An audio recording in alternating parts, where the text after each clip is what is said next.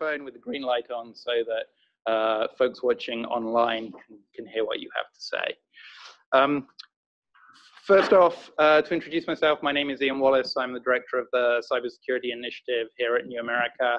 Um, the cybersecurity uh, initiative here is now getting on for four years old. Uh, we're supported by a number of funders, particularly the Hewlett Foundation uh, and a partnership with Florida International University, who we uh, uh, work with on a, a, number of different sort of cybersecurity issues, and are very pleased to, to, to do so. Um, there are many things that I'm proud of uh, in relation to our initiative, but three of them in particular are focusing on topics that other people uh, are not focused on. Um, our fellows program and our, our, partnerships with other organizations. And this topic brings together all three of those strands very nicely. Um, as we will discuss, um, I think city cybersecurity is an emerging issue, but it's one that probably hasn't had the uh, attention that it deserves. And, and part of this uh, exercise uh, is to, to, to, draw a little bit of that attention and expose some of the work that particularly uh, Natasha Cohen, who you'll meet shortly, uh, has been doing in researching uh, how, how the, the, the policy issues around this topic uh, are evolving. Um, Natasha is herself one of our cybersecurity fellows, and it's a testament to that program that, that we're able to, to, to do this work uh, which uh, also includes other fellows, including uh, Brian Nussbaum at the State University of New York in Albany, and Emma Gawu, who's now based in Oxford, but previously was working for us on, on state and local issues. Um, but the, the um, panel we have, uh, and uh, partnerships, I should say, uh, we're doing this event in partnership with the National Governors Association, and they're very pleased to do so. So to um, introduce a fantastic panel, uh, I'm going to uh, talk to them uh, uh, uh, briefly, ask them a few questions, have a moderated discussion, and then open this up to questions from the floor. Um, the, the panel we have to discuss this cover a, a range of different perspectives, and I think we'll get a pretty rich sense of, of, of what the issues are. Um, sitting immediately uh, to uh, next to me, uh, we have Jacob Finn, who is the policy manager for Garcetti in uh, Los Angeles, uh, covering his uh, cybersecurity portfolio. And LA is one of the cities that's um, been particularly active on cybersecurity. Uh, and we'll hear a little bit more of that and what it might mean for, for, for others. Uh, sitting next to Jacob, we have Karen Jackson, who uh, now runs her own firm, uh, Apogee Strategy Partners, uh, but until recently uh, was the Secretary of Technology for the Commonwealth of Virginia and has herself done quite a lot of pioneering work in how states interact with cities and more generally how cybersecurity works um, uh, outside of the, the federal government. Sitting next to her, we have uh, our uh, colleague and collaborator, Michael Garcia, who is uh, the National Governors Association's uh, liaison uh, on these cybersecurity is issues with governors' offices across the, the US, and then certainly in the last couple of years has been uh, leading a pretty active uh, effort on behalf of the National Governors Association to, to, to get cyber policy discussed um, outside of the, the, the, Beltway. And finally, as I mentioned earlier, we have Natasha Cohen, who my colleague here at New America, who leads our um, state and local cybersecurity work, uh, currently focused on a paper looking at cybersecurity and particularly incident response at the, the city level. Uh, she has a, a, background in, in the private sector uh, and uh, various other um, sort of policy related jobs, so brings a, a, a great deal of uh, additional knowledge to this. Um, so as I say, I'm going to um, kick this off uh, with uh, a question to each of the panelists, and then we're going to go into a, a moderated discussion. Um, I uh, remind you that this uh, event's being live streamed, so be careful what you say when we get to the Q&A. Uh, and uh, um, if uh, anyone is interested in following uh, uh, this through Twitter, uh, the uh, New America uh, Twitter account is at newamcyber, and will occasionally be capturing our, our great thoughts for, for um, the Twitterati. Um, so, um, Jacob, um, actually, no, Natasha, I'm going to come to you first. Why is this an important discussion? and why do we think it's important to bring together people from different uh, different governments, different uh, uh, perspectives to, to weigh in on the, the cybersecurity of cities. Yeah, thank, thanks, Ian. And, and also thank you to the panelists for, for coming here to, to join us, um, talk to each one of you before and, and really value, you know, your expertise. So I think it's going to be a, gr a great discussion. And, you know, the importance of cities, I think, lies in the element that cities are our form of government that are closest to the citizens, right? The, these are the governments that are providing services directly to the citizens day to day. So there's a, a real emphasis on resilience and rapid recovery and a look at cybersecurity less from a, a wall perspective and more from a service provider perspective. There's also the, the fundamental aspect of citizen cybersecurity. And I think we're starting to see that prevalent, you know, percolate through whether that's federal government, state government, but city government, really that's that's the core of it. How do we provide a secure environment for our citizens, both for what they do on the internet, what they do on their devices, services that are provided to them, and ensure that they are provided without an interruption. Um, and then I think the last point that I want to just draw to you on this is the range of maturity of cities, because cities can be, you know, a small small city where the resources may be um, pretty strapped, and they can also have medium, large size cities that also have resourcing issues, but have a very wide range of expertise, a base, um, and, and sometimes function more like a state, uh, which, you know, a discussion that we were having earlier, where some of the larger cities are, are in fact larger than many of the states. And so I think for that reason, it's important to bring in the expertise of folks um, that work at the state level and you know not only for how states work with cities directly but how large government organizations can manage these kind of initiatives um, at the local, you know, sub-federal level government. So with that, Ian, I'll turn it back over to you. Fantastic. Well, the obvious place to start when you're having a conversation about cities would seem to be someone who actually works in a city. So, um, Jacob, um, LA has been a sort of pioneer in this space, uh, and you know, to pick up Natasha's theme, you know, LA is bigger than some countries, uh, and uh, certainly has a, a, great deal of complexity. Can you just give us a sense of um, what you've been doing in LA, and um, to the extent that, um, that there can be lessons, what lessons that might offer to, to other cities who are beginning to grapple with the, the cybersecurity challenge. Well, first, thank you very much to New America for having us. Uh, Mayor Garcetti asked me to send his best wishes to everyone here. Um, Mayor Garcetti, Eric Garcetti, came into office in 2013. And the second executive directive that he signed, basically akin to a presidential order, is that cybersecurity be a public function of city government. So whereas our constituents pay taxes for their fire services, police services, EMS, cybersecurity is also something that they should be receiving as a public function of government. Um, that's what the executive directive, uh, the theme of it was what the executive directive ordered was collaboration among city departments dealing with cybersecurity. Uh, I'll tell you, today we have about 41 or 42 city departments, um, maybe 40,000 employees who handle endpoints, have a computer or email, phone in some way. And basically the 41 departments are split as follows about 39 departments fall under our city's information technology agency, under the networks of the ITA. And then we have three proprietary departments, departments that bring in their own revenue and sources. Uh, Department of Water and Power, Los Angeles World Airport, so that, that includes LAX and Burbank, and then the Port of Los Angeles. And what was happening before this executive directive is that each of these four uh, entities were, were managing their own cybersecurity programs. in a way, the information sharing was siloed.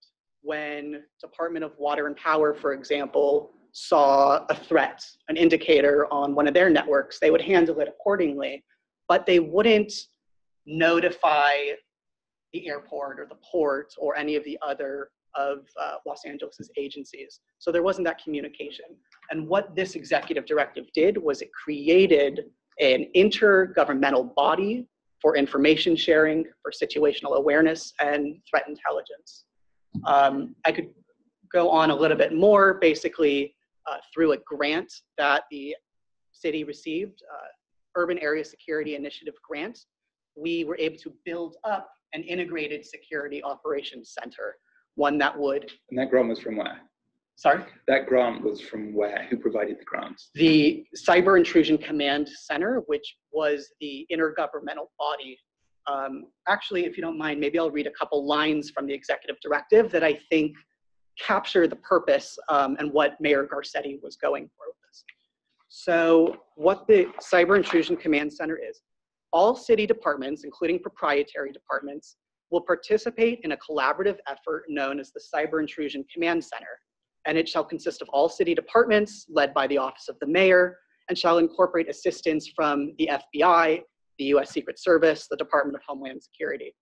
Um, the cybersecurity goals of this group are to facilitate the identification and remediation of cyber threats, to ensure incidents are quickly and efficiently responded to, to ensure awareness of best practices, to provide uniform governance across the city, et cetera, sponsor independent security assessments.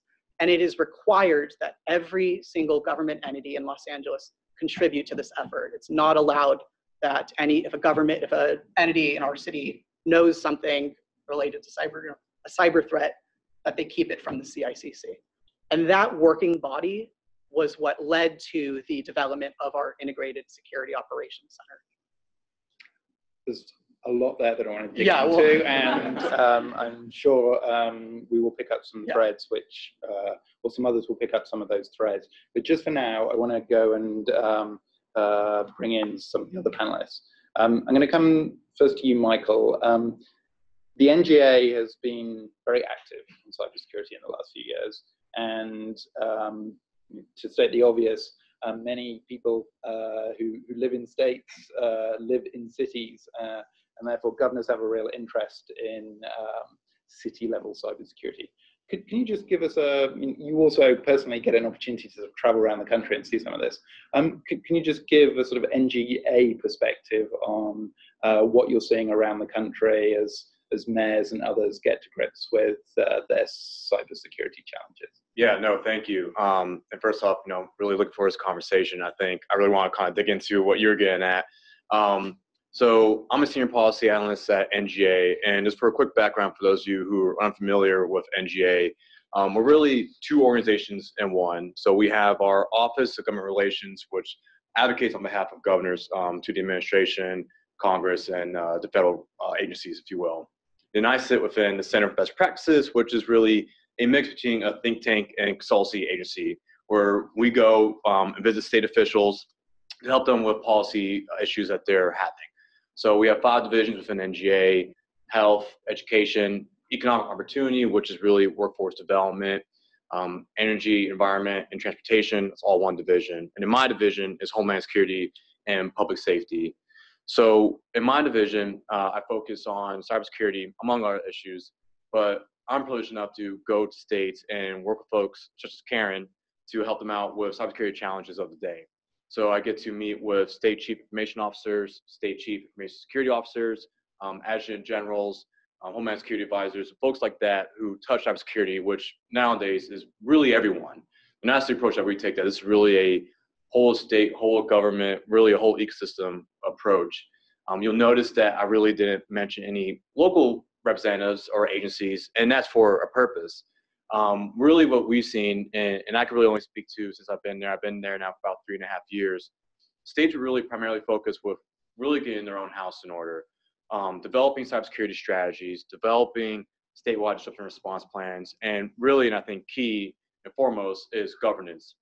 Uh, I'm sure Karen talked about this, but a lot of states were forming uh, cybersecurity committees task forces, um, things of that nature, just to get a grappling of what they can do. And this isn't to say they weren't thinking about locals. They're actually really concerned about locals. And the thing that whenever I ask them, you know, how are you engaging locals, it's that, well, we don't even know where to begin. There's not enough capacity. And I think the key word of this conversation really could be capacity, and really it, it's workforce development. I, I personally believe that workforce development is the key crux, um, main challenge that we'll have in the near term, medium term, and long term when it comes to cybersecurity. But as a result, um, you see some states are doing some really innovative things when it comes to reaching out to locals and trying to engage them. Um, I'll touch on four very briefly, and then we can kind of delve into any of them that you all are really interested in. Um, so first off, um, in Michigan, they created the Cyber Civilian Corps, which is really akin to a volunteer fire department, but for cybersecurity.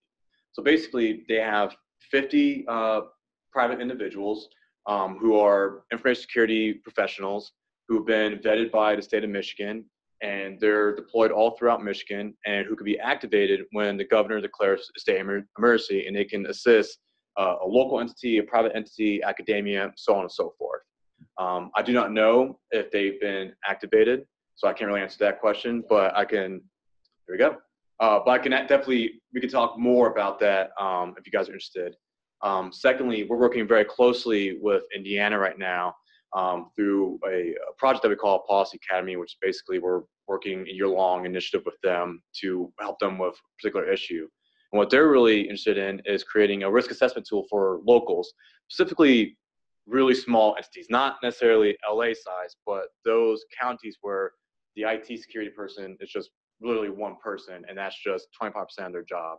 So how do you assist those individuals just grappling what's on their network, how they assess the threat, and then what they can do to mitigate that threat. So that's one thing that they're developing, and hopefully they'll be wanting to share that um, with the rest of their, their state counterparts. And I know a lot of them will be very interested in that. Um, thirdly, and this one that I think is really interesting, is that Missouri, in partnership with University of Michigan, is working on a uh, public vulnerability disclosure program and they're using open source code to identify known vulnerabilities within locals, uh, academia, and private sector, and basically reaching out to those individuals and saying, hey, by, by the way, you have this known vulnerability, you should probably patch it up. Now, they're not actually going out and patching that uh, known vulnerability, but they're starting that conversation and forging those relationships. Um, and on their website, they have a lot more information on it, and we can kind of talk about that as well. And last but not least, and I'll end on this note, it's just plain information sharing. Um, you see a lot of states who are creating integration centers, which are really ISAOs, where the state is reaching out to locals, locals reaching out to the state, and just sharing threat information and other forms of information. I know California has um, the Cal-CSIC um, that Governor Brown signed executive order back in 2015, 2016 timeframe. Um, and I know that's a really good way that state's been using to really start forging those partnerships with their locals. So a lot of interesting thing going on um, at the state level, reaching out to locals, and I really think that having that partnership is pretty key and crucial when it comes to this.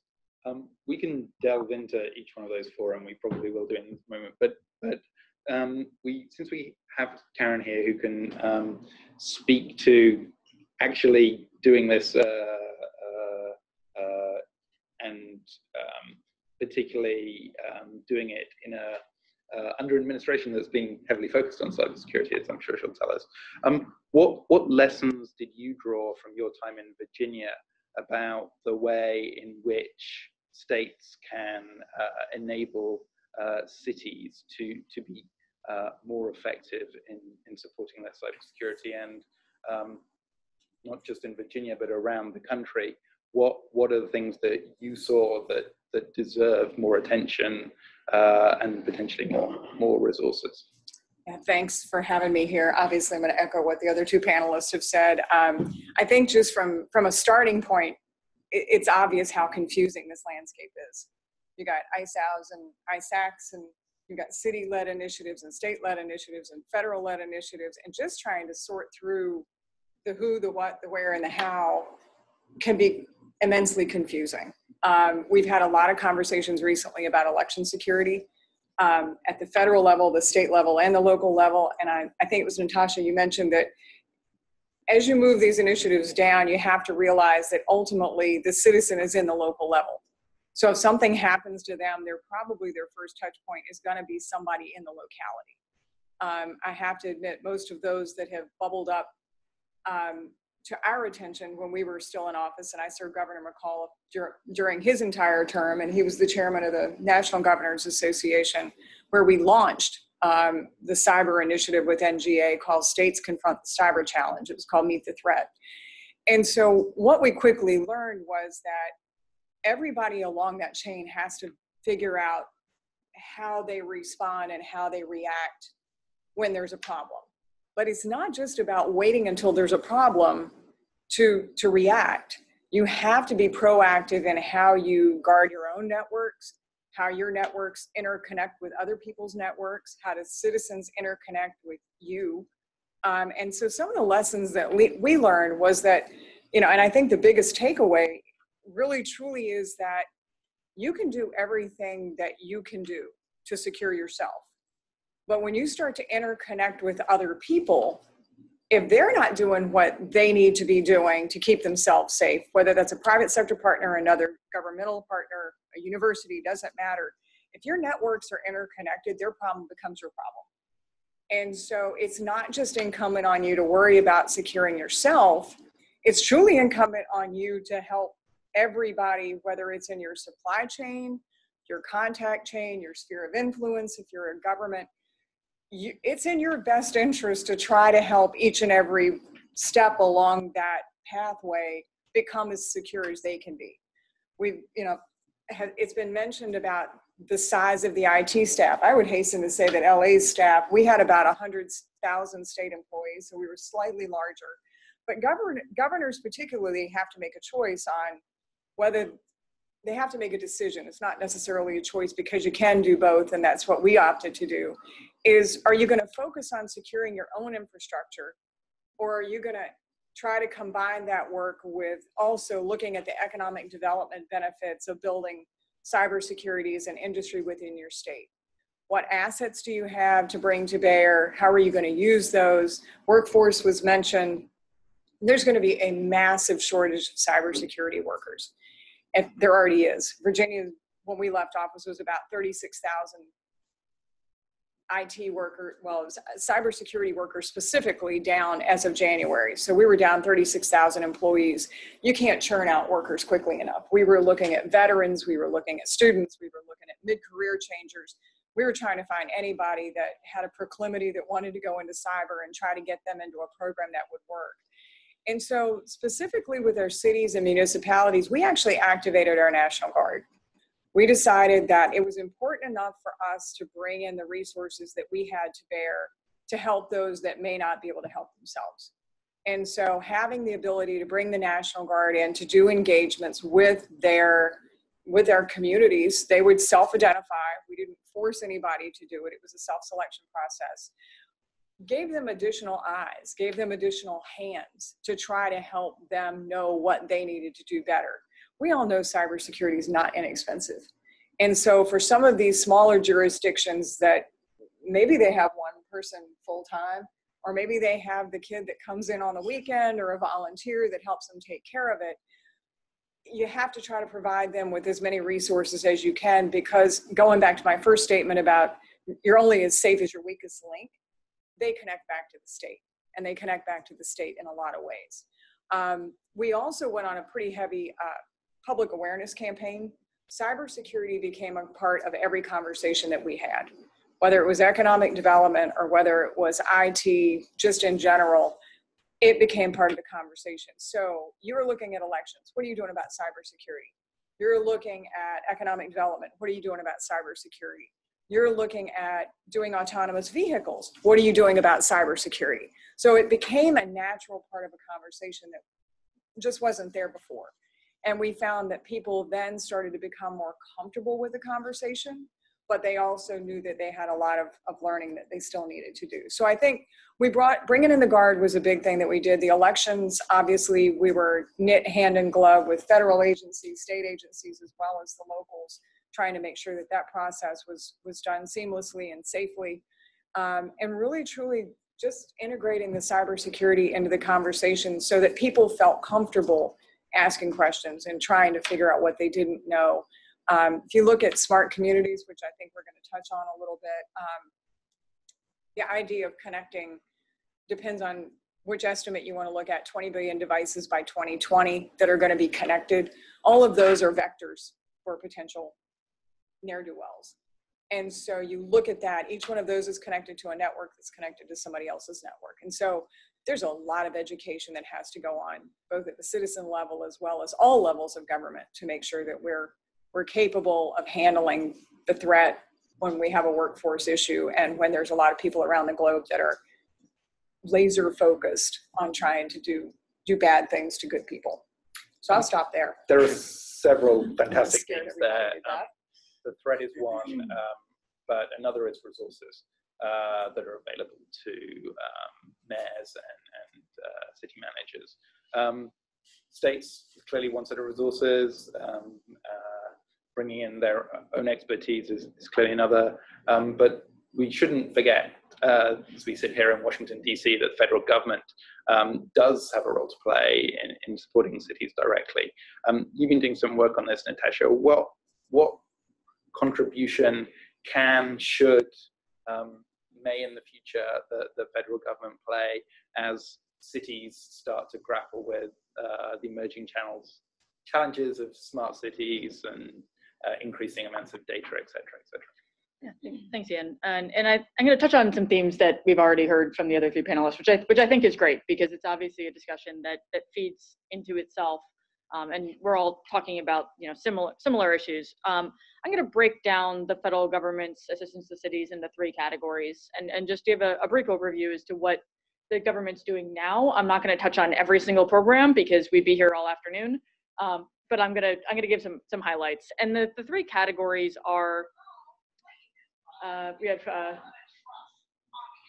quick note, pause while we have uh, pho- cell phone. There we go. Um, and, and the three categories are uh, resilience, security, and as a function of security, uh, recovery. And on the security side, that is the, the actual defense of networks. Um, first of all, a wide apparatus, apparatus for information sharing, um, a lot of which flows up through um, the NCCIC at, at DHS and, and down through the um, ISACs and ISAOs, the information sharing analysis centers, information sharing and analysis organizations. And when you're talking about state and local organizations, particularly the multi-state you know, information sharing and analysis center, the MSISAC, um, that has a, a network of sensors around the country, um, both in state governments, yes, but also now in, in city networks as well, and many, many counties and cities that are members of the MSISAC, so receive you know the information that are that is shared through those channels. Um, another one is you know for the, defense itself is funding, and know we already heard from from Jacob that you know LA has been able to use some sources of funding from the government. Um, one of those being the the uh, UASI funds through FEMA and, and DHS, which is part of the Homeland Security Grant Program, um, that has actually this year required there to be cybersecurity spending as a function of that grant, um, and, and, to engage the, the technology folks within the state in the, the council or the panel or however the state decides um, what the bid is going to be back to FEMA um, for those grants.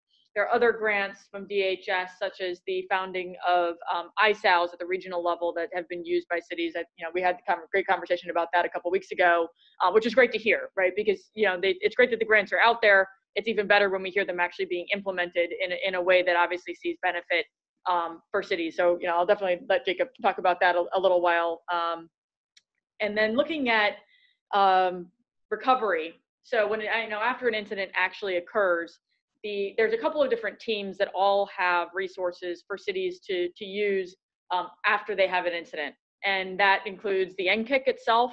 Um, that has a, a, team that can go out and either do direct incident response and, and help them with the recovery um, or provide advice into how to manage the event um, themselves. The uh, MSISAC also has a team that does similar work either on site or, or virtually. Um, FEMA as well can be deployed to help with, with an incident um, a lot on the coordination. And, and there's a team right now, uh, an upcoming report from RAND uh, where they're actually looking at that. So what, what is the role of FEMA as, as events are, are starting to get, you know, larger, more, more and more systems are being networked. We're, we're realizing that, you know, these events can spread. Um, and then also, you know, on, on the other side, there's the FBI and the Secret Service that are there to really figure out what occurred, um, how it occurred, and to take the law enforcement side of that investigation, while the, the folks on the DHS side really do the, the asset management and, and recovery from an incident. And then on the resilience side, so the preparing for incidents, um, a large number of federal resources that are devoted to exercises. And that can be, you know, DoD-led exercises, DHS-led exercises. There are a number of states that are using um, the National Guard to do uh, actual testing on systems, whether that's critical infrastructure or state systems themselves. Unfortunately, it's very state by on a very state by state basis. Um, the legalities of how you activate the guard, whether that's for state service or federal service, um, and in, even within a state, what they're allowed to do depends, you know, largely on that state. And so that's definitely something that is still in in development and in motion, but we're seeing it happen more and more often.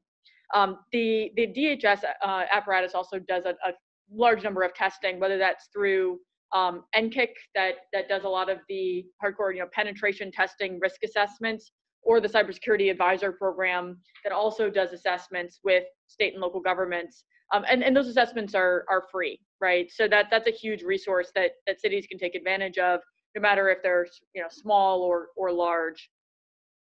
So, you know, that, that's the overview of what the federal government's doing. I think, you know, there's some areas that we'd like to see improvement, particularly in funding. Um, having cybersecurity tied to the federal funding process on Homeland Security funding ties it to counterterrorism. Um, and that's something we can delve into to later. I'm not going to go, you know, down the rabbit hole on that. Um, but that's definitely something that I think we should pick up at some point um, in talking about you know how the federal government helps state and locals and, and how we can improve this process um, going forward as you know folks are maturing in, in their governance structures and their processes their procedures at all three levels of government. Thank you very much natasha. And we'll, we'll definitely dig into sort of some of those um, resource questions. And i sort of um, mean resources sort of writ large. But before we do um, I'd like to just dig into sort of what threats we think we're talking about. Uh, we often talk about the cybersecurity challenge without actually being very specific about uh, what it is uh, individual um, uh, actors in the system need to worry about. Um, coming back to you, Jacob, you know, as as you um, advise sort of Mayor Garcetti on what what his priorities ought to be, and, and work with others uh, in the city. Um, what, what among the, the, the various different threats out there are you most concerned about? I'm thinking sort of, you know, balancing sort of the, the challenges of increasingly smart cities, um, elections, as we've heard, you know, interruption to services, um, ransomware attack in, in Atlanta, theft of data, you know, cities hold enormous amount of um, personally identifiable information. What, what, what is it that, uh, what is it that you think mayors ought to be focused on and, and where are they getting the information about um, how to balance those threats? I think the number one issue that cities, or I'll speak to Los Angeles to begin with, uh, are focusing on is employee security. So the human error part of the equation, uh, it's said that some 90% of attacks on businesses and governments are due to human error, to a employee clicking on a phishing email and allowing malware and viruses into uh, the, their networks. Um, we have made that a number one priority for the city. So by uh, requiring mandatory training for our employees across across the city. Um, by taking part in National Cybersecurity Awareness Month and educating both our employees and the wider community on best practices for surfing the web and navigating the internet, email security, endpoint protection. Uh, so number one, I would say, is the human factor. number two, you started to touch upon it, is smart cities. And Los Angeles, as you know, uh, looking towards the next 10 years, is planned to become this smart city metropolis uh, in America. And we are planning, you know, in the next 10 years, we're going to have uh, probably a Super Bowl and the World Cup and the Olympics in 2028. So we, as we move towards a smart city uh, based on transportation, you know, updating our transportation and rolling out 5G and small cell, small cell technology, uh, one of the things that the mayor and our, our, city planners need to focus on is the security of uh, new application of new technologies that we roll out. And, and I should have said this out myself, but I'll, I'll turn it into a question for you. When we talk about smart cities, what is it that we're really talking about? What is it? What is it that um, LA thinks it needs to protect? Sure, it's anything connected to the internet. Um, when we're talking about autonomous vehicles in the future or um, e-vehicles, we want to meet goals, for example, uh, by 2050 to become carbon neutral when we do that, we're going to be rolling out new technologies that need to be secure. I mean, that answer? Yeah. Uh, anything that remotely touches on the internet needs to be secure. And uh, I'll get into the private sector at some point too, but as more and more companies put out the smart refrigerator and the smart toaster and all of these devices that are connected to the internet, we need to be sure that when we adopt these technologies for the city, um, we're doing it uh, based on best cybersecurity practices. Aaron, sitting from where you used to sit, and now I'm sure you um, are advising uh, people based on that experience, what what do you think are the the, the threats that um, cities are are least focused on that that that could be uh, coming to bite them? Sure. So I, I think where we left off was I agreed with the whole idea of the human element being um, one of the things that we have to continually care and feed um, because there's generally um, someone somewhere who is going to click on the next greatest offer that appears in their inbox. And so we constantly have to work on that. Um, and quite frankly, the, the hackers are taking advantage of that because they're becoming much better at the way they present themselves. And so that's going to continue to be an issue. We're still going to have to continue with things like ransomware, uh, other ne'er-do-wells, the denial of service attacks. But those are those are starting to be something that we have seen and can start to get our heads around. I think the things that we really have to look at is the physical security now. We're starting to talk about the Internet of Things, um, whether it's driverless cars, a lot of these devices that are going to be involved in smart cities are are durable goods. They're not IT purchases. And so we really have to start paying attention to how those devices are secured. I know in Virginia, a lot of our durable goods are purchased by the Department of General Services. If they're IT services, they're purchased by our IT procurement department. One has cybersecurity standards, one doesn't. And so as we start to become more and more networked, those two are, the purchasing of those two, at least for this from the standards perspective, are going to have to start to converge. That's uncharted territory. We did have, you know, you start to look at what we're seeing with chips that are being brought in uh, in devices, in manufactured devices that we purchase, that the states purchase, that the federal government purchase, localities purchase them. Um, and we're going to have to truly start applying some significant pressure to the suppliers to make sure that they, the, whether it's a device or whether it's something you know, large like a traffic camera or traffic light, anything that's purchased, we're going to have to make sure that those manufacturers are applying good, solid cybersecurity. And I'm not, I've never been a fan of this, but practicing good cyber hygiene, um, both on their side as well as doing some potentially doing some stand up and testing before we go live with some of these products to make sure that they're securable and they are secure. So um, I think that's the next big wave that we're all going to have to deal with. We've kind of gotten pretty good at dealing with the ones and the zeros. Um, but when you start to think about some of those durable, durable goods that are purchased, anything that touches the network is fair game. That includes health equipment, which is particularly frightening. um, but the grid financial systems, but it's, it's the things that we don't think about, the HVAC systems and others that we haven't spent a lot of time securing, that we're really gonna have to apply a, a strong eye to now. It's, it, we're, al- it's almost too late. So that's that's a lot to worry about if, uh, for even the federal government and uh, companies who have significant resources. Um, if you're um, uh, a relative, uh, the um, mayor or city manager or staff of a, a medium-sized city, even, um, how um, how um, how uh, do we? Uh, why don't, why don't, what should we go through? All right, go ahead. just a little bit of interference, which will uh, which will do it. Um, how, how do we, uh, Natasha, um, expect uh, mayors to to get the information they need to to manage those threats? And what resources are out there? Uh, Michael, perhaps you can come in on this. Um, are available to, to to people in positions of authority.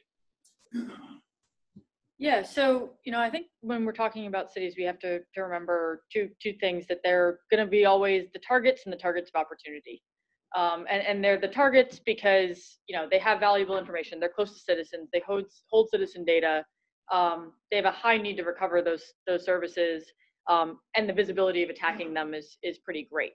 Um, because, you know, they, they're gonna have to inform their citizens. And so they, they need those resources and they need those resources, you know, pronto. Um, they have, you know, cities have partners that span across the federal government, span across states, the private sector, and nonprofits. And when we're talking about the federal government, I talked about some of those before, whether that's resiliency or recovery. Um, you know, you can rely on some of those resources to help with with those efforts. Uh, when you're talking about states and, and state efforts, um, you know, Michael highlighted some of them.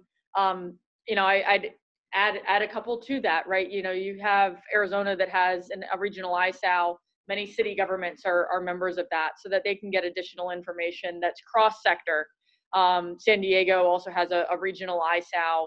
Um, a number of cities are, are building these or, or states are building them um, to, to share information between their private sector partners um, and public sector partners, the state and the city. And Natasha, can you just explain a little bit more detail what, what an ISAO is, what it does, how it can be helpful? Sure. So, an, information sharing and analysis organization is an organization that's a nonprofit that exchanges information, and whether that's through um, a relatively informal means where you have, you know, a CISO council um, that comes together and, and meets, or if that's a more formal threat intelligence platform that is used to share information or, or automated indicator sharing, um, it can really span those different areas. Uh, but it, it, the basic premise is that it enables the exchange of information for security purposes between the members of that ISAO. And whether that's a, a topical ISAO um, or ISAC that's focused on one particular industry or a regional focus where it's exchange of information. The, the advantage of a regional focus is that you have that person to person collaboration. So you can actually bring people together to meet face to face and, and it's much more comfortable for folks to share information um, when they know each other. Um, when we're talking about you know other other resources, universities, a lot of cities have you know higher education resources that they can help with um, whether it's workforce development or partnerships. Uh, an example from from a state that I think would be a really uh, a great model for for cities to look into is Vermont is starting a partnership with Norwich to to have uh, students start to to uh, staff their security operations center. Um, so that that's been done in some other places, but that that's now you know building a, a contract in that area. Um, when talking about nonprofits, whether it's the ISACs or ISAOs or um, other or you know educational institutions within the state, uh, private sector as well. You know the states, cities can reach out to their private sector partners for you know help on on security, whether that's through a, a managed security service provider or you know incident response but it, you know, when it comes to incident response, I think something that we've heard again and again from, from both the private sector folks and, and the public sector folks is that it's important to build those relationships and those partnerships before an incident happens. Um, you know, so you want to build those those partnerships at least, you know, at the, at the minimum a contract or conversation. At, at, the high end, you know, actually working with folks actively, uh, whether that's you know the National Guard and making sure that they have, um, you know, basic stuff, logons. So if, you know, if something happens in an incident, they're, they're not, you know, trying to build, you know, spin up um, accounts right after an incident. They've, they've familiar with the systems. They've sat there. They've worked with people. They, they know who they are um, and, and can really have that dialogue when, when and if an incident occurs. Um, Mike, one of the things that um, I know um, states have begun to uh, explore is um, sort of picking up Natasha's theme, um, rehearsing for, for incidents and, and preparing.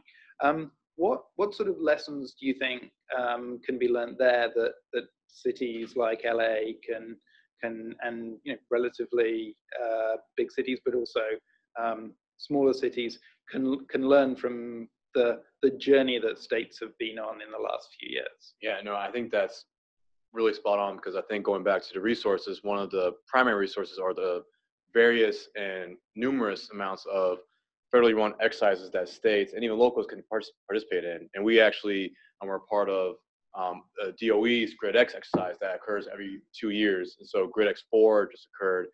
And I think one of the greatest lessons learned that I saw was not making assumptions. And this was really between the state, federal, and private sector industry, but it wasn't necessarily the conversation was, well, I thought the state was going to do that. Well, I thought sector was going to do that. And it was just this, you know, who's on first base kind of ordeal. And it was actually really interesting in that people assumed, and to Natasha's point, they're making those business card contacts during the incident and not beforehand. And they didn't necessarily exercise for externalities. Um, and it's really thinking outside the box right? Going back to the Nyland report, that was one of the key recommendations, right? We have to make sure that we're thinking outside the box, thinking what's what's the next threat out there that we're not thinking of. And I think that's one thing that cities and states can learn from is that how can we make sure that we're leveraging each other's resources, we're not duplicating efforts, and that we are redundant as well.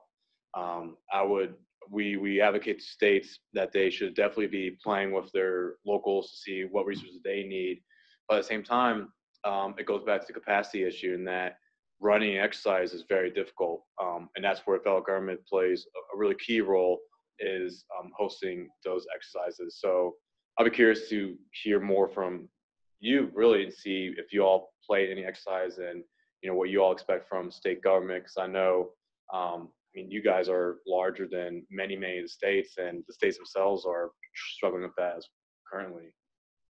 But, yeah. Jacob, does LA run its uh, a sort of regular cybersecurity exercise?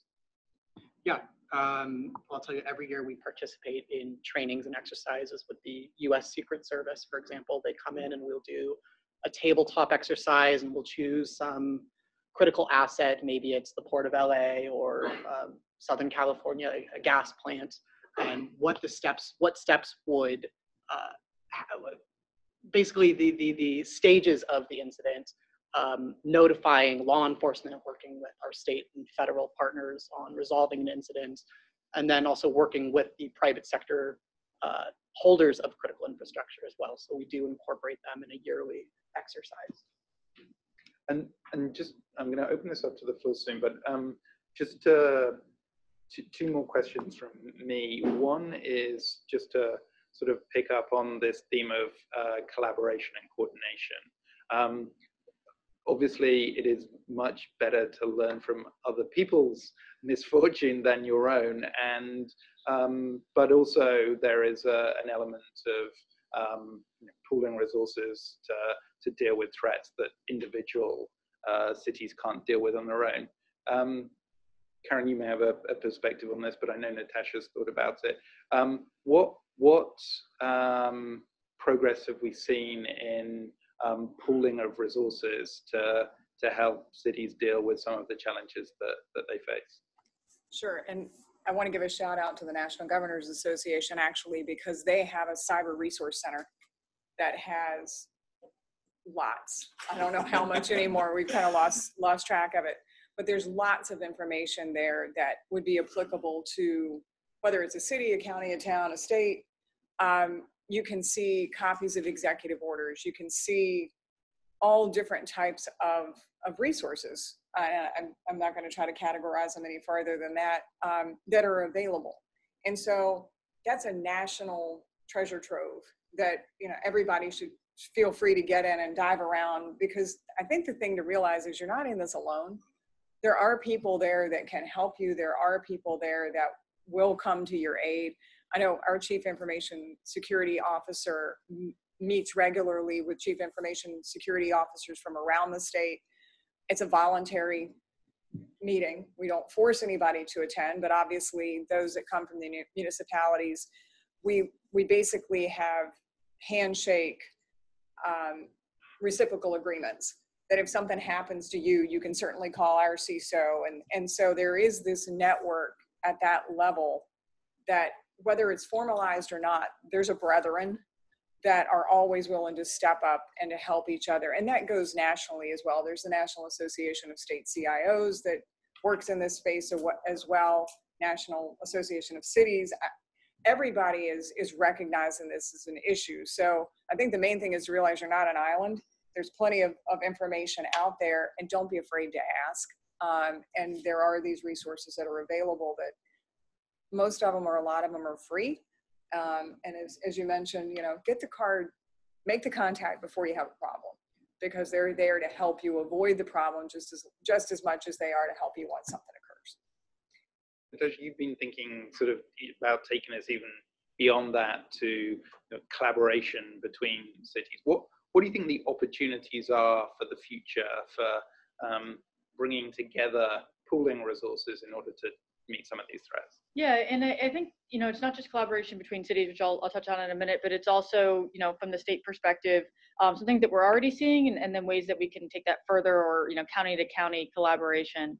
Um, and a couple of things I, I want to talk to first are what's already, go, you know, going on right now, which is, you know, the availability of state level contracts for IT services or IT products that, you know, local governments can take advantage of because states, you know, by themselves or with other states have you know purchasing power um, that is way beyond what a local government would have and, and so the pricing there is going to be very difficult uh, different.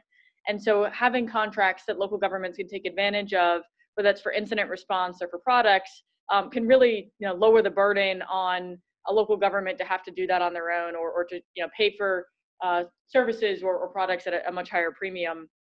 Um, I, i'd also call out the, the program from michigan where um, Michigan paid for uh, a cybersecurity uh, expert to do um, analysis on counties that wanted an assessment. Um, so we're able to, you know, use that that power from the state, you know, a little extra budget there um, as a pilot to to provide those services um, down to the, you know, the county or the local government level. Um, and, and something else, you know, encourage folks to, to think creatively um, you know, especially when you're talking about smaller cities, smaller local governments, um, they probably don't have the money to employ a chief information security officer. But what you know, multiple counties or multiple small cities may have the opportunity to do so. So to think about um, how to share not only resources but personnel in this shortage of personnel time um, could be could be very you know an interesting platform to do. Um, as well, looking you know looking at a regional perspective. Um, sometimes states necessarily won't have the opportunity to all have the exact same expertise, but how do we, you know, through that development of exercises, through, you know, getting to know each other and, and making plans that are strategic in nature, be able to share resources at a, at a more regional level. Anything to, you want to come in on? Yeah, I just want to say, if I may add, and I just kind of wrap it up. This this year, this this November, there's going to be 39 gubernatorial elections. There's going to be 19 for sure that are term limited.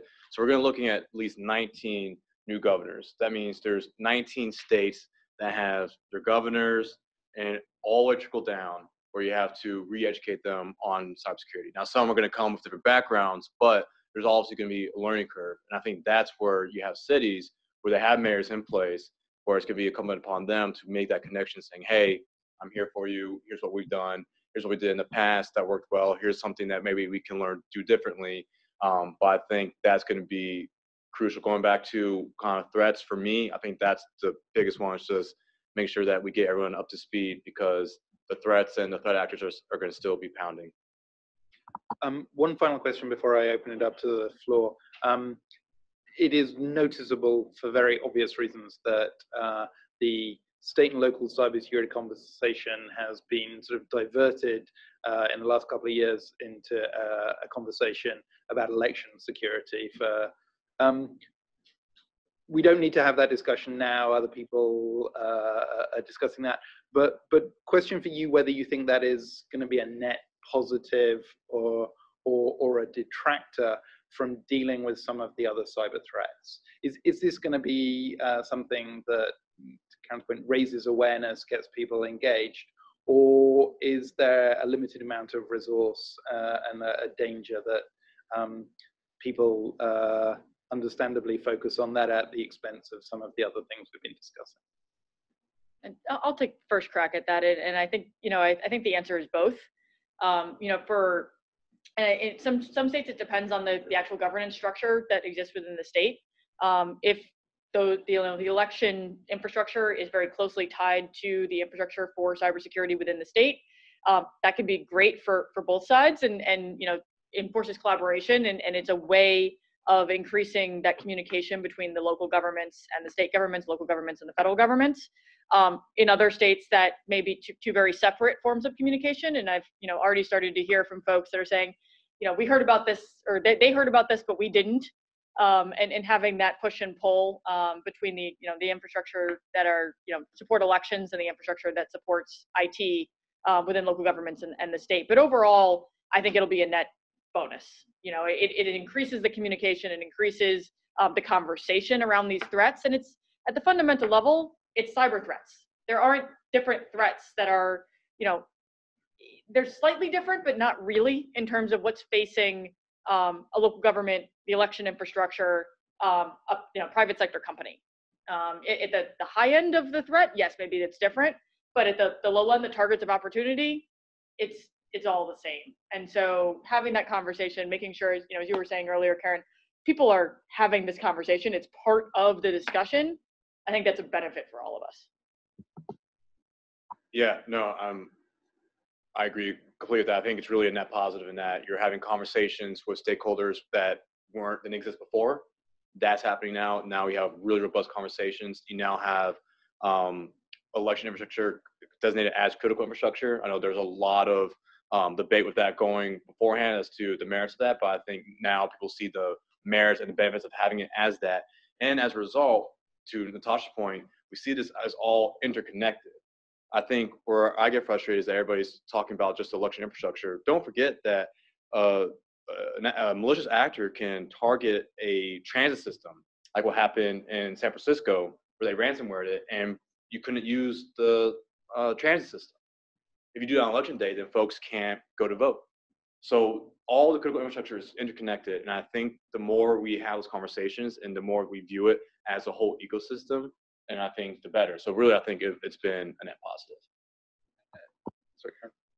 I'm going to add just a little bit of that. Um, I think ultimately it will be a net positive. I think the last experience that we had, though, um, everybody at the last minute decided they need to be a part of the election conversation. And so a lot of our elections officials, I think, felt like, stop helping me um, because they were so consumed with people who wanted to come and help with the, the presumed situation that they were having a hard time actually carrying out the functions that they needed to for an election. So I think that's the, we have to avoid the, let's just pile more stuff on because more has got to be better um, because I think that becomes a real issue. Virginia actually decertified a whole host of, of voting machines because there was no paper trail. Um, we were very fortunate that we did that because we ended up with quite a few recounts had we not taken that step. But to your point, we had to work very creatively with the vendors of machines that did have the proper security to make sure that those localities and those machines were in place prior to the election because they didn't have the money just lying around to replace voting machines. So you have to look at budgets and you have to look at how things fit together. I think going forward, you know, we have to, we can't get, this can't be the bright, shiny object that everybody focuses on. Security around elections is physical, physical security, it's accuracy, it's cybersecurity, it's a whole host of topics. And if we get fixated on just the cybersecurity elements, we're going to miss something else. And so it has to be viewed as part of a much bigger portfolio of cyber, I mean, portfolio of security, where cybersecurity is one ongoing effort, just like everything else. Because the sanctity of the election, you know, all of this is built on trust for governments, whether it's federal, state, or local. Your citizen has to trust that they're participating in a system that will protect them and it will protect their rights. And voting is no different than protecting PII, you know, on any other given day. But I think we have to be careful not to chase the bright, the bright light because if we focus too much on that, we're going to miss something somewhere else. And that's those are equally important to what can happen in cyber. Anything else you want to add? Um, yeah, I'll just say the role of mayors and local officials now in this space is encouraging voters to still go out and vote and trust the system. Uh, and that's something, for example, that Mayor Garcetti has really pushed and making sure we're engaging uh, the local youth community and registering new voters. Uh, that's from from the city, the city's role in doing so. I would also um, it that the answer to that question might also depend on the jurisdiction. That the way Los Angeles works specifically is we do not run our elections. We provide those. I mean, those functions are part of the county and the state. So it might also have to do with who you ask. Um, we are constantly working with our county and state officials on election security. Uh, but again, it, it has to do with the jurisdiction. Um, I'm going to keep this conversation running uh, until about 4:45 with uh, people's permission because we lost a little bit of time in the middle. So that gives us 20 minutes to pick up questions from the floor. So um, if you have a question, please sort of indicate. Uh, and uh, there are microphones uh, sprinkled around the room for people who uh, need to um, who, who want to ask a question. Anybody? I have plenty of questions. Does anyone have any questions they'd like to ask? Um, if you, a microphone just in front of you, uh, if you could um, press the button, say who you are and where you're from, and then ask your question. Uh, My name is Colleen Johnson. I'm from Sarah Brin, a cyber risk management firm. I had a question for um, Jacob of Los Angeles. Um, I was wondering how having Hollywood as a unique part of your constituency impacts your efforts to build a cybersecurity program as a public program. Um, and if, you know, particularly with the perspective is, you know, the American movie industry being a, um, considered a trophy, you know, a cyber attack trophy. Yeah. Hollywood is obviously the American uh, epicenter of, of uh, production, and that's in Los Angeles. We regularly engage the industry, um, and one of the things I haven't touched upon yet is the LA Cyber Lab. And so before I answer your question, let me take one step back and just do a quick background on that. In August of 2017, so last year, Mayor Garcetti met with a group of information security professionals from about 30 different uh, private sector companies in Los Angeles that are headquartered in LA. Uh, and it was a it's a cross-sector approach. We have companies from the entertainment industry, academia, healthcare, tech, critical manufacturing, et cetera, uh, represented on an advisory board that works with the mayor and the city government to exchange information, um, to work on workforce development programs and engaging stakeholders.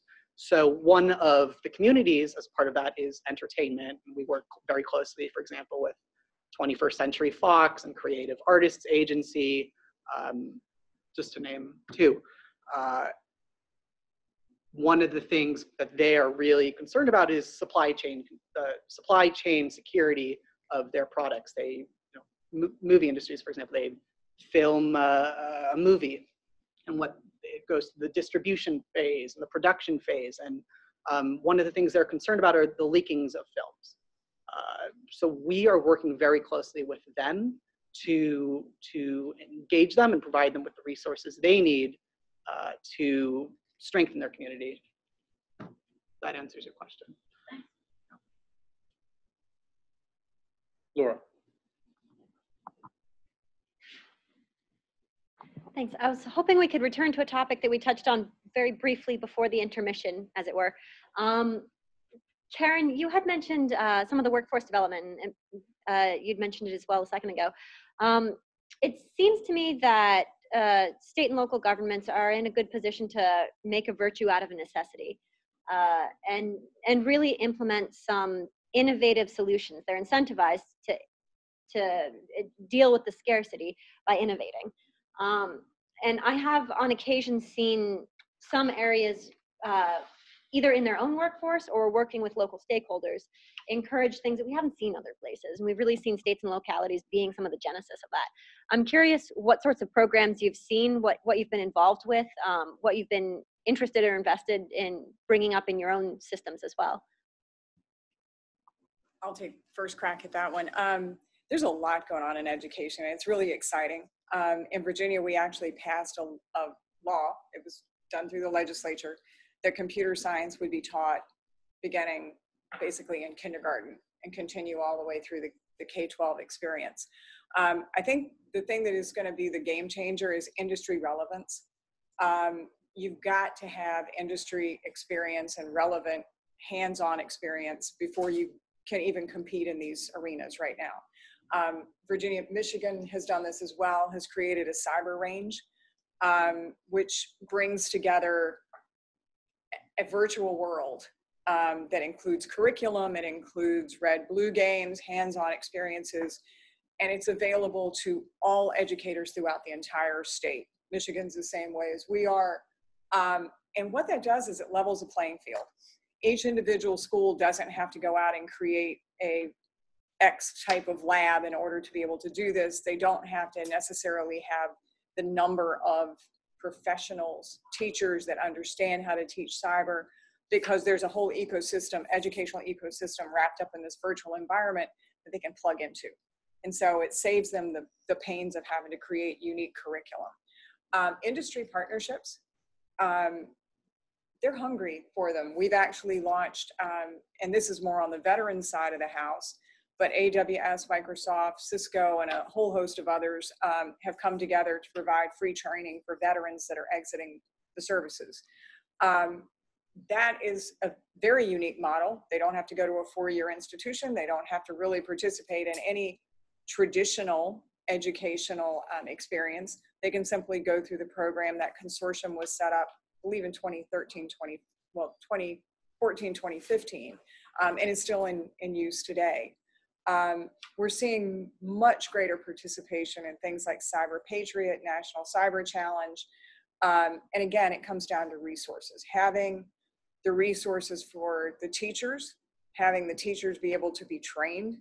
Um, and we've got to start these students at as early a, an age as possible. So a lot of these competitions that are outside of a typical school day um, are where where we're hitting the biggest success, I hate to say it, traditional education is slow to change.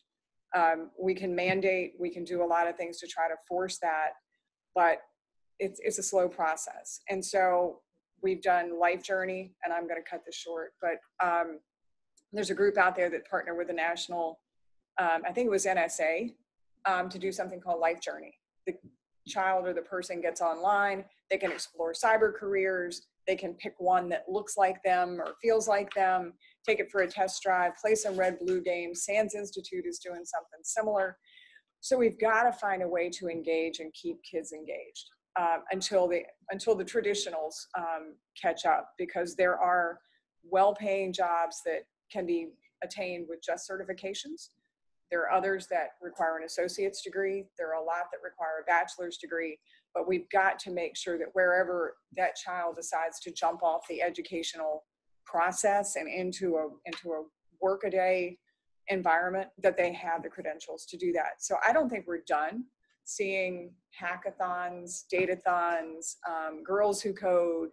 Um, all of those are, are providing very very solid resources outside of the traditional educational space um, and i think people are finally recognizing that cyber is a career that is real.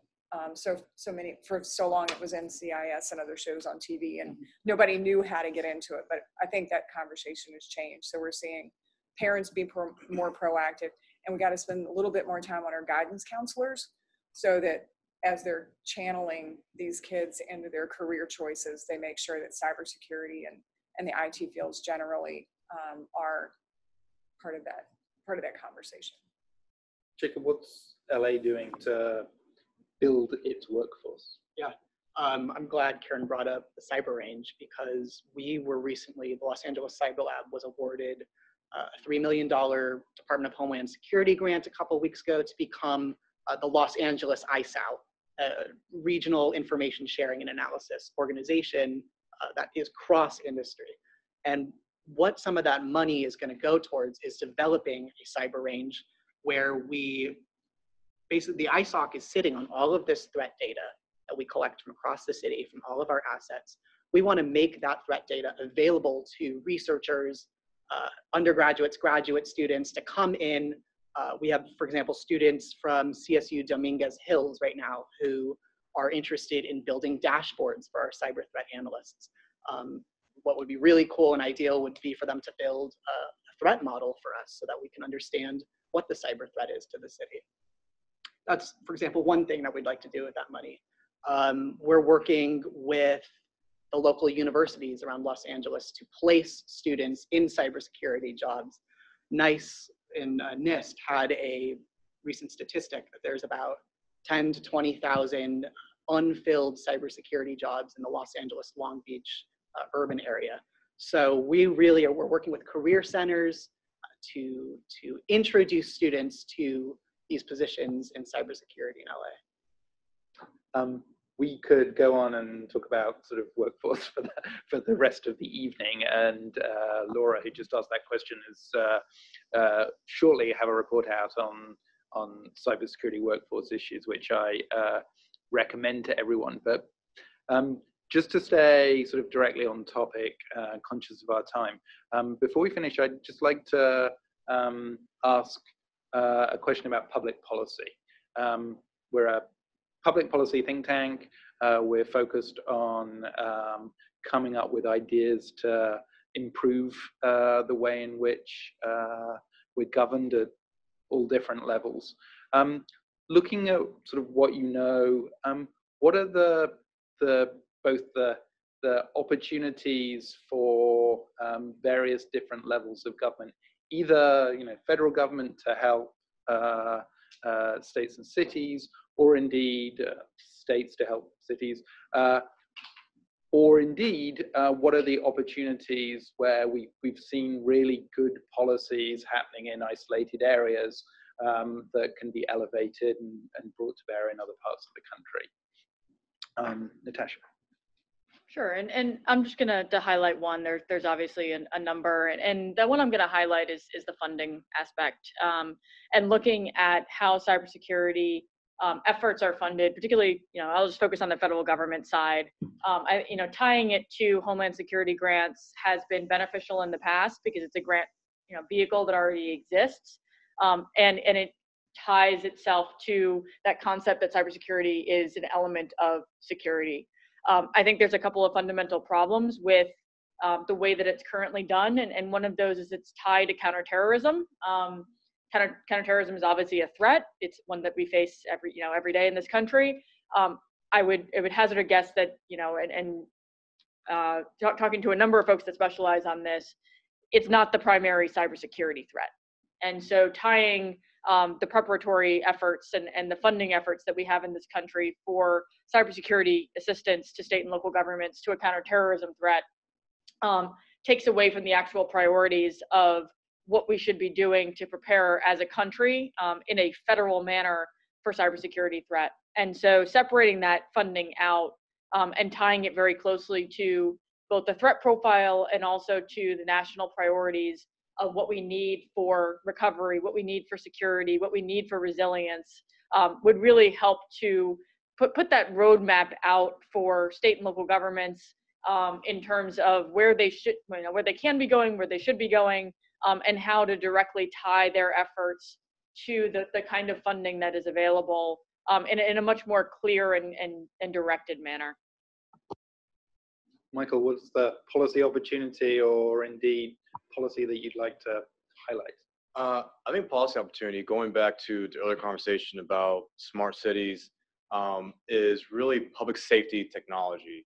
And I think there's two instances, instances and one is that um, states are rolling out next generation 911, which is basically IP-based 911 systems where the callers can send data files to uh, responding officers. So think of texting, audio, visual, things of that nature. Now, 911 truly is a local jurisdictional issue. Um, however, when it comes to next generation 911, it's the states that are rolling it out. So that's a good, great partnership right there and how the states can engage locals because uh, there's been instances where people are now attacking 911 systems. And that's going to be the governor's worst day when citizens can't call for government help. So that right there is a great opportunity. And secondly, um, public safety law enforcement is getting a wealth of information, whether it's through these 911 calls, whether it's through um, body worn cameras, or any other kind of application that they have. They now have to manage that data and protect that data. So once again, there's an opportunity for state and local um, governments to uh, focus on that particular issue. Karen. Um, I think there's, there's a lot of public policy implications um, around cybersecurity. I think at some point, we're going to have to normalize across the US because right now, what's happening is it, it's an evolution of a patchwork quilt. Um, every state is doing something different from everybody else, whether it's supply chain management. I know there are some bills that have come through on supply chain for the federal government. Um, slow to be adopted by the states, but if states can adopt like processes and procedures um, that are going through the federal government, like much like Natasha mentioned about the the contracts that are shareable. If we can do the same with policy and reduce the patchwork nature of the policy so that we're much more unified, it's going to make it easier for everybody to adhere, especially those that are providing goods and services if they don't have to look across, you know, however many jurisdictions, states, federal government. It's going to be so difficult that there's going to be very few that'll ever be able to qualify across. We've seen California, we've seen Europe come out with GDPR and other things that are that are quite sweeping. I think it's going to take us a while to get there as a nation. Um, but I think having that kind of, of aspirational goal that it's it's unified, um, whether it's information sharing or whether it's you know policy around securing devices, we've got to get to the point where we stop seeing the boundaries. The hackers don't see boundaries, um, and so the more that we can unify ourselves under under more clear and more succinct type policies, it'll be better for everybody. And where do you see the onus for that resting? Um, I think, you know, the federal government is going to have to step up. Now, preemption's a whole different conversation that we could have a whole different conversation around um, at some other point. But I think I think there's going to have to be a leadership that says, you know, here are minimum standards. I know there's a lot of people working on, such as NIST, working on smart community standards and others, but we're going to have to have those standards and policies, just like NIST to develop the cybersecurity framework. Those at least provide a baseline starting point that we can have those conversations. And so there's going to have to be leadership, I believe, at the federal level. But to the extent that the states have already taken a leadership role, the more of a more of the states that can adapt adapt to and adopt those same policies, procedures, and otherwise, it's going to make it much easier for everybody, and it's going to be, you know, possibly, you know, with NGA's help, um, if the states will go through and adopt, start to adopt it, then it's going to happen from a grassroots level. You know, whether it's states or localities. Once it starts, and two, five, ten adopt it, then it's much easier for the rest of them to fall into place. And so I think the federal government needs to step up and, and start. They have they have the biggest buying power of anybody. Maybe if the uh, states all join forces, maybe we'd have a larger buying power. I'm not sure, but they also have a lot of areas of, of very distinct interests, such as DoD and the, and the products that they buy for them. They have a special interest in them being secure. So I think there's going to have to be leadership from the top um, and then the states are going to have to find their way to participate in that. But I would think that putting together a group, much as was mentioned before, that involves city leadership as well as state leadership as well as federal, to evolve those policies would be a much smarter way than doing it in any one vacuum. Um, and perhaps, you know, you would like to host those kinds of discussions around that multi-level. But I, I think that's, you know, the collaborate, it's gonna have to be collaboration, but there's gonna have to be leadership and somebody's gonna have to take the first step.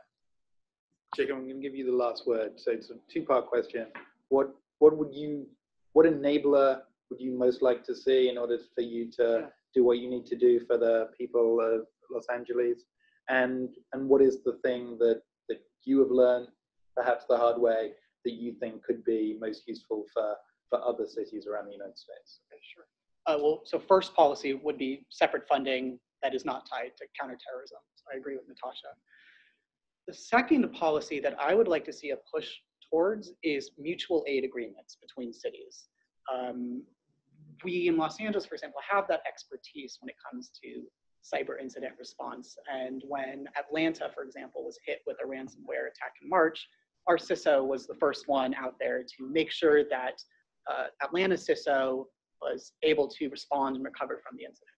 I want to see more official mutual aid agreements between strong cities that have expertise in cybersecurity, but also cities and smaller smaller jurisdictions that really don't. And same thing with states, state to state support, federal to state support. I think there needs to be a, a stronger framework for mutual aid. Um, to the second point, what's something I learned? What what do you think LA has to teach the the rest of the country?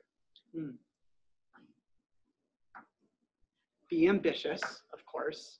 Um, obviously, if you dream it, it's something that we want, you want to be true, but uh, so that's actually a tough question. Um, keep in mind, obviously, the cybersecurity impacts of every policy that that you do, whether it's a physical policy like transportation and traffic. Um, how do we help homeless homeless in our cities? I think uh, you always need to think of every policy issue from a cybersecurity perspective because there's always some type of nexus that could could occur. So uh, New America, of course, has a, an office in California. So I, I, look forward to continuing this conversation, perhaps in, in LA, uh, in in due course. But for now, um, we could continue this conversation, but I'm very conscious of people's time. So uh, thank you for those people who stuck with us online. Particularly, thank you for uh, the people in the room who uh, stuck with us through the interruption. Uh, it just remains for me uh, to ask you to join me in thanking our fantastic panel, uh, Natasha Cohen, Michael Garcia, Karen Jackson, and Jacob Finn. Thank you very much.